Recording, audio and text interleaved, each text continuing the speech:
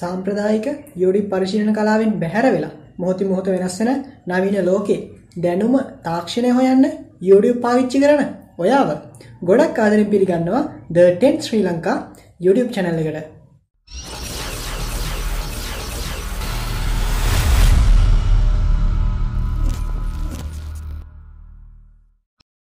හොඳයි ඔයා දැන් හිතන්න ඔයා ටූර්නමන්ට් එකකට එහෙම නැත්නම් චෙස් තාඟාවලියකට ගිහිල්ලා ඉන්නේ. ඉතින් දැන් ඔයා චෙස් ප්ලේ කර කර ඉන්නවා ප්‍රතිවාදී ක්‍රීඩකයෙක් එක්ක. ඉතින් චෙස් ප්ලේ කර කර ඉන්නකොට ඔන්න ප්‍රතිවාදී ක්‍රීඩකයා පරදින්න ගොඩක් ආසන්නයි. ඉතින් මෙන්න මේ වගේ වෙලාවක ප්‍රතිවාදී ක්‍රීඩකයා චෙස් බෝඩ් එක කඩලා විසිරලා දානවා. ඔයා මොකද්ද කරන්නේ? ඒ කියන්නේ විනිසුරුවරයෙක් ළඟ නැති වෙලාවක් බලලා ප්‍රතිවාදී ක්‍රීඩකයා චෙස් බෝඩ් එක කඩනවා. කියන්නේ කඩලා දානවා. ඉතින් එතකොට මොකද ගන්න විකල්පය? කරන්න දෙයක් නැහැ. ඉතින් අන්න ඒ වගේ වෙලාවට තමයි අපි චෙස් ක්‍රීඩාවක් ලේඛනගත කරන්නේ. චෙස් ක්‍රීඩාව ලේඛනගත කරලා තිබුණා නම් කවදාවත් චෙස් බෝඩ් එක කැඩුවට පස්සේ ප්‍රශ්නයක් ඇති වෙන්නේ නැහැ. රෙකෝඩ් ෂීට් එක අරගෙන නැවත නිවැරදි කරගෙන අදාළ ස්ථානයට යන්න පුළුවන්. ඉතින් අන්න ඒ නිසා තමයි චෙස් තරගයක් ලේඛනගත කිරීම ගොඩක් වැදගත් වෙන්නේ. ඉතින් අද කතා කරන්නේ චෙස් ක්‍රීඩාව ලේඛනගත කරන්නේ කොහොමද කියලා.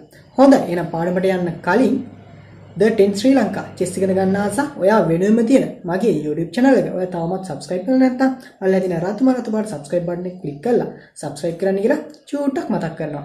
හොඳයි එහෙනම් වැඩි කතා නැතුව අපි යමු අපේ පාඩමට. ඉතින් අපි කතා කරමු කොහොමද චෙස් ක්‍රීඩාවක් චෙස් තරගයක් ලේඛනගත කරන්න කියලා. ඉතින් මුලින්ම කියන්න ඕන මෙන්න මේත රුක්. ඉතින් රුක්ව අපි ලේඛනගත කිරීමේදී ආර් අකුරෙන් නම් කරනවා. රුක්ව ආර් අකුරෙන්. නයිට්ව එන් අකුරේ බිෂොප්ව බී අකුරේ කුයින්ව කිව් අකුරෙන් කිංව කේ අකුරෙන් පෝන්ව පී අකුරේ හොඳයි.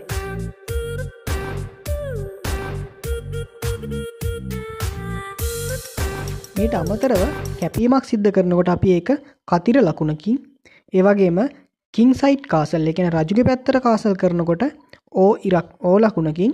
ඒවගේම කුයින් සයිට් කාසල් ඒ කියන්නේ රජනගේ පැත්තර කාසල් කරනකොට ඕ ඉරක් ඕ ඉරක් ඕ විදිහටත් චෙක් එකක් දෙද්දි ප්ලස් ලකුණක් විදිහටත් චෙක් මේට් කරද්දි ප්ලස් ලකුණු දෙකක් විදිහටත් ලකුණු කරනවා. ඊට අමතරව එන්පසන්ට එකක් සිද්ධ වෙනකොට E.P කියලා ලකුණු කරනවා. ඉතින් යාලන ඔයාලට කාසල් එන්පසන් චෙක් චෙක්මේට් මේ වගේ දේවල් මතක නැත්තම් මගේ පලේලිස්ට එකට ගිහිල්ලා පේලිස්ට එක චෙස්ට් කියන කැටගරිය එක තියෙන සියලුම චෙස් වීඩියෝ ටික ෆලෝ කරලා එන්න.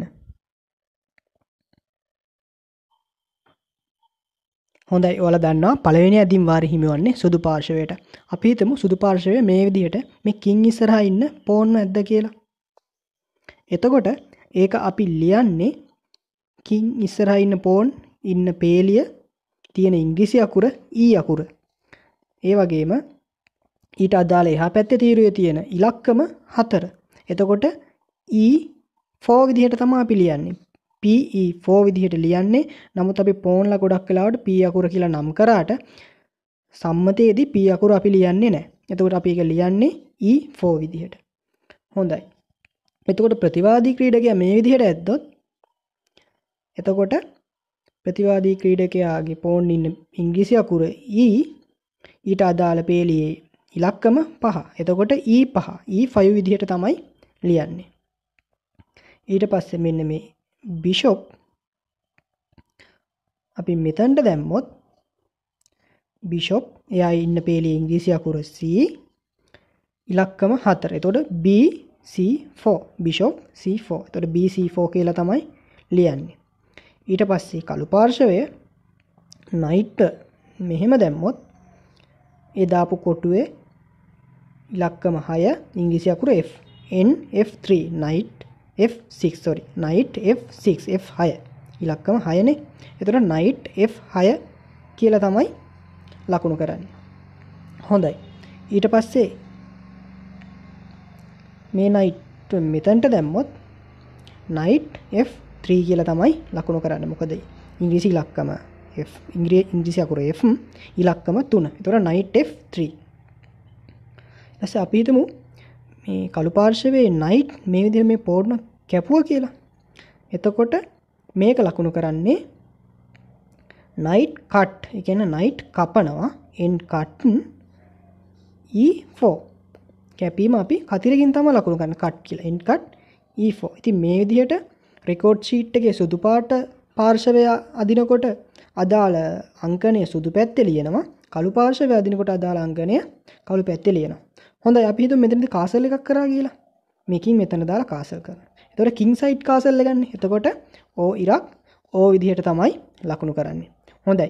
ඔයාට පුළුවන් මේ විදිහට මං කියල දුන්න ආකාරයට අංකනය මුළු තරගේ අවසන් වෙනකම්ම කරන්න.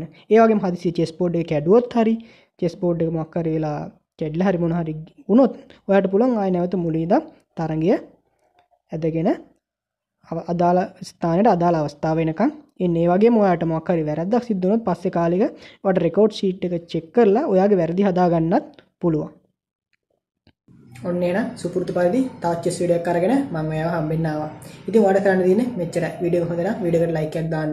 එගොම මේ වීඩියෝ එක තව කෙනෙකුට බලන්න තව කෙනෙකුට ඉගෙන ගන්න අනිවාර්යෙන් මතක ඇතුව ෂෙයා කරන්න. ඒ වගේම ඔයාලට අද පාඩමේ අද ලෙසන් එකේ වැඩ මොකක් හරි ප්‍රශ්නයක් තියෙනවා අනිවාර්යෙන් පල්ලෙහා කමෙන්ට් සෙක්ෂන් එකේ කමෙන්ට් එකක් දාගෙන යන්න. ඒ වගේම මගේ YouTube channel එක තවමත් subscribe කරලා නැත්නම් පල්ලේ තියෙන රතු මරතු පාට subscribe button එක click කරලා subscribe කරන්න කියලා චුට්ටක් මතක් කරනවා. හොඳයි එහෙනම් මේ වගේම තවත් වීඩියෝ එකකින් මම ඔයාව හම්බෙන්න ඉන්නම්. එතකන් ඔබට සුබ දවසක්.